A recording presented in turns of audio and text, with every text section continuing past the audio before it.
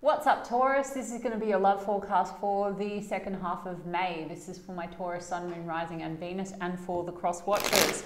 If you guys enjoyed this video, please don't forget to give me a like and throw me a comment. And if you're new to my channel, I put these out every two weeks. So don't forget to hit the subscribe button and the bell if you want to keep up with me as I do. Also, guys, I do offer personal readings, and all the info for that's in the description box of the video. So let's get started. Spirit, what's coming in, please, for my Taurus, Taurus, Sun, Moon, Rising, and Venus in the area of love, second half of May. Any love messages for my Taurus, Taurus, Sun, Moon, Rising, and Venus, second half of May. Okay, Eight of Swords, the Four of Cups, Ace of Pentacles, Justice card, and the Strength card. Taurus, feeling a little bit trapped. Okay, you're in a situation and you feel a little bit like it can't move forward or you can't move on. Something's got you unsure um, if you can even see the way forward because you've got the blindfold on here with the Eight of Swords. The Four of Cups to me means there's either a situation where someone's not taking your cup or you're not taking theirs, right? There's an opportunity here. Possible that you're in a situation, Taurus, with someone that wants to give you actually something very solid, but you're not sure you want to take it. There's something here within this situation that has you feeling um, bound and trapped, okay? Like a lot in the mind, self imposed imprisonment, a lot of anxiety. Now, it's testing your strength here, Taurus. Um, with the Justice card, it's like this is calling for you to tap into your truth Justice is truth, it's decisions, it's also making the right decision, it's, it's fairness, okay? There also could be something to do with balance between you and this person. So finding the right balance, so that could be an issue. Let's get a little bit more on it. Why is Taurus so, um, so trapped here with the Eight of Swords? Okay, the Death card.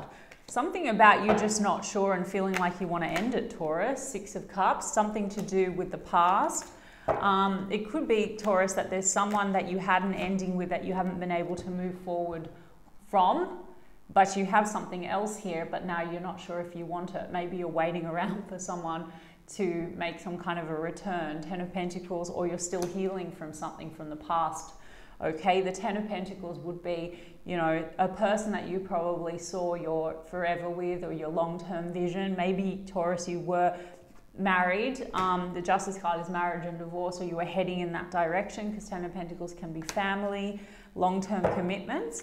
Um, tell me about this Ace of Pentacles. Exactly, Two of Pentacles. So, Taurus, is like you've got maybe an opportunity here, but you're a bit back and forth on it, or you're weighing up your options.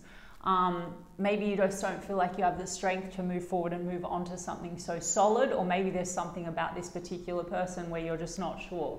Um, or maybe it's because, like I said, you've been a bit hurt and maybe you're not sure if if you can actually pour into this situation, if you want to take this cup, Seven of Pentacles. Okay, so Taurus is a person that you have a foundation with. Maybe you're still sort of waiting to see how things play out. Um, I think this person wants to offer you something quite serious with the Ace of Pentacles. Um, Knight of Swords, as I said that, this is a person that's rushing. They want to rush forward with you. They want to rush forward off the foundation that you've built. Um, but the Knight of Swords can also mean that you might be trying to make a decision about it. As I said, Two of Pentacles, weighing up your options. And the Six of Swords here um, with the Knight of Swords mean you might be feeling like you want to cut them off and move away and move forward. Okay, you're sort of back and forth. It's like, do I stick with this or do I move forward in a new direction? Um, you could have had a bit of drama with this particular person, so you're feeling like, oh, do I just want to move into calmer waters elsewhere? Five of Pentacles, exactly. Now, Taurus, I'm getting again, that's like either you, I'm getting two stories. It's like either you, you're back and forth with this person and, you know, you want to move away, but you're concerned that you're going to leave this person out in the cold, Five of Pentacles. Um, or Taurus, you're dealing with a situation where there's something about this person where um, you're back and forth and, and something about it makes you feel disconnected misunderstood, left out in the cold, okay? We have the Lover's card and the Four of Pentacles. Wow. So Taurus, some of you, it's like you're holding on to, this can often be choices and decisions, the Lover's card. So it's possible you are still holding on to someone, Taurus, um, or someone's still holding on to you. As I said, I'm almost getting it's like maybe you're back and forth, Taurus, because you know your original plan didn't work out, okay? And now you have maybe something else, but you're just not sure if that's what you really want Okay, um, lovers card. So Gemini energy, we've also got Capricorn, Taurus, Virgo, Cancer, Pisces, Scorpio, strong Libra with the Justice card, strong Leo. Um, yeah, we've got all the signs basically, guys. Okay, so what else do we need to know? Eight of Wands and the Queen of Wands. Okay, Taurus, so there is a call for you to make some kind of a decision. We've got the Eight of Wands and the Queen of Wands. So this is about you sort of taking back some level of control, I would say, over what's going to make you happy. Queen of Wands very independent. Some of you actually might be doing some traveling. You know, maybe you're taking some time out to consider your options and you're taking some travel. You, some of you may be traveling for work. Queen of Wands is an entrepreneur. Um, and Eight of Wands, Six of Swords tells me that there could be some, some travel coming in for you. Otherwise, this is conversation. So it could be that, you know, there's a lead up here to a conversation now about sort of where is a particular situation headed. Um, yeah, with, with a person, the lover's card and a decision needs to be made. Do I hold on to this situation or do I move away? It could also be do I still hold on to what's happened in the past or a past person or do I allow myself to move forward? Queen of Wands is sort of a with or without you energy. Maybe some of you are deciding to disconnect from all options and just move forward independently so that you can move yourself into maybe a direction that's more aligned for you. Um, as I said, that Five of Swords, Nine of Nine of Pentacles, Two of Swords. A lot of you are just feeling very stuck, and Seven of Cups, stuck in confusion. Okay, could be more than one cup that you're dealing with. Um, and there's, there's stress here, Five of Swords, okay? Some of you are in a situation where you're having conflict with the person and you're just confused now, like, is this the right person for me? And you're feeling very stuck and you want to take back some level of independence. Some of you, do want to sort of just be single and available or work on your money. Um, and Ace of Swords, guys, sorry, was, was hiding, but this is about truth, honest conversations, and breakthrough. So you're going to get some kind of clarity coming out of confusion and you may need to make a decision involving a conversation. Now, I'm not telling you guys what to do.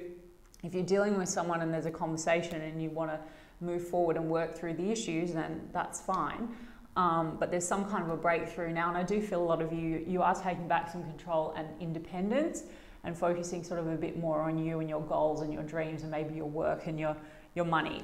Um, let's look at the situation that you're feeling quite stuck in. Okay, let's see. So a little bit on this situation that Taurus is sort of for a cup, something on offer that you're not sure about. Let's see, what do we need to know about this person? I just saw the Seven of Pentacles. So someone that has felt like, feels like they've sown the foundations with you and they're waiting for um, the return, okay? You're trying to build off that. We've got the chariot and the ten of pentacles exactly. This person wants to move forward with you and they want to build a ten of pentacles. So they want to build, you know, the house, the dog, the future. Um, we've got the tower and the temperance and the wheel of fortune here. So you've kind of shocked and surprised this person, Taurus. Um, and the wheel of fortune means this person believes that you are part of their destiny, basically. Let's get one on the temperance. There's something about timing and patience here. Um, Let's get a little bit more on that. Strength card, yeah. Something within this connection tests this person's um, strength and patience, Taurus. I do feel like it's possible that you and this person, you have some conflicts. It could be that there is difficulty in finding a balance between the two of you. Like I said, Taurus, it might also be that you have been a little bit standoffish with this person. Like we've got double strength energy. Strength is um, you know, in its shadow is sort of ego battles as well. Um, so there's something between the two of you that, you know, this person's hoping they're going to be able to heal with time.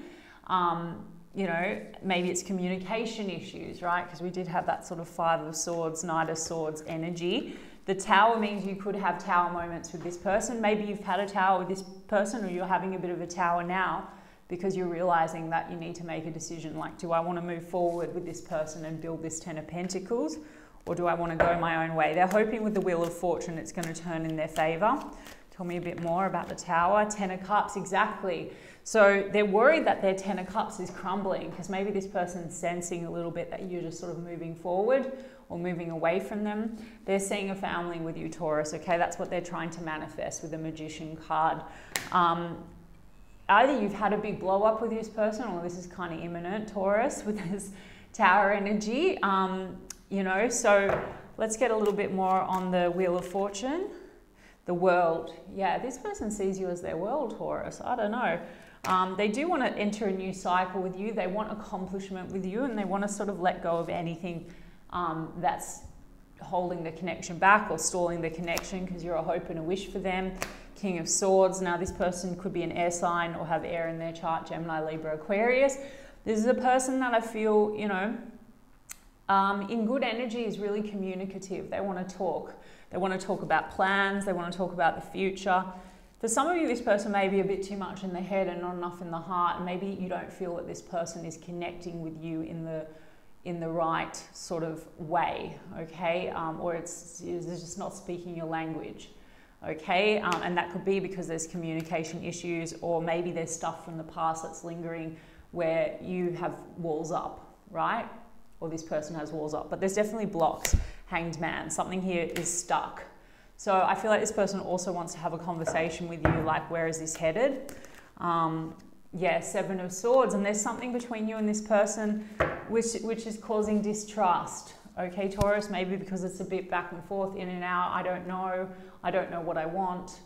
Um, do I want to move forward? Do I not want to move forward? That kind of a vibe. And I'm always getting Taurus. That could be more on your end because, as I said, I feel like you could be, you could have not yet closed something out completely.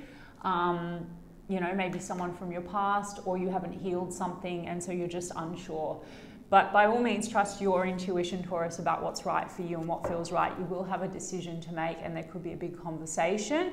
Um, Knight of Cups, Ace of Wands, because I think this person wants to come in and make an offer to you, and they want to reinvigorate passion with you and sort of keep moving forward. Um, yeah, let's get some psychic oracles. So, just advice for Taurus now moving forward. Nine of Pentacles. Okay, so I think that came out before, it didn't, I don't know. Nine of Pentacles, so this is you focusing on yourself really.